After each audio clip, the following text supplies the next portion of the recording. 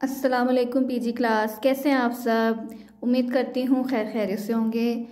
मैं भी खैर खैरियत से हूँ, आप भी खैर खैरियत से होंगे, ठीक है?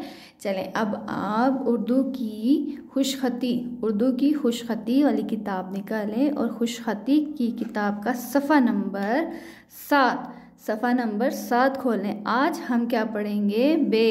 क्या पढ़ेंगे? बे। पीछे हम लोगों ने क्या पढ़ा था?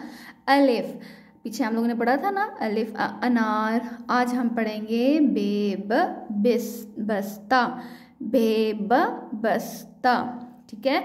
अब आप लोगों ने बे की प्रैक्टिस करनी है, बे की मश करनी लिखते कैसे? हैं आप लोगों ने इन डॉट्स पर प्यारा प्यारा सा लिखना है यूँ। ये देखें, ऐसे, ठीक है? देखिए, मैं बाहर नहीं जा रही ना डॉट्स के ऊपर ही लिख रही हूँ ना, आप लोगों ने भी इस तरह से लिखना है, ठीक है? कैसे लिखना है? यूँ। बेब बस्ता इसी तरह नीचे भी आप लोगों ने लिखना है, इसकी मश करनी है।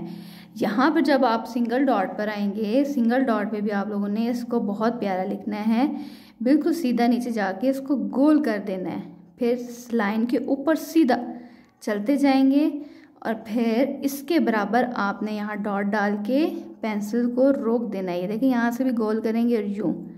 बे बन जाएगा, ठीक है? ये देखें। बे ब ठीक है? क्या साउंड है बे की? बे ब ओके?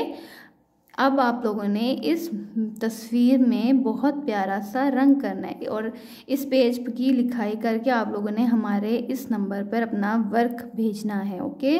चलें। जी, अब आप लोग अपनी उर्दू की नोटबुक्स निकालें उर्दू की नोटबुक में भी आप लोगों ने आज बे की ही मश करनी है, ठीक है? ये क्या लिखा हुआ है? बे, कितने नुकते हैं बे के? एक, ठीक है? बे ब, क्या बना हुआ है? बिल्ली, बे ब, बिल्ली, बे ब बिल्ली। अब आप लोगों ने बिल्ली में भी बहुत प्यारे से कलर करने हैं, ठीक है?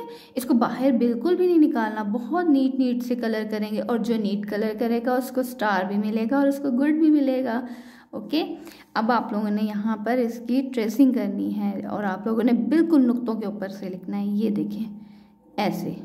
आपकी टीचर नहीं जा रही ना नुक्तों से आगे पीछे आप लोगों ने भी नहीं जाना, ठीक है? बेब बिल्ली।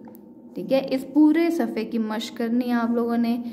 इसके साथ ही आप लोगों ने इस सफ़े की भी मश करनी है ताकि आप लोगों को लिखना आ जाए। ठीक हो गया? अब आप लोगों ने इस काम की वीडियो या पिक्चर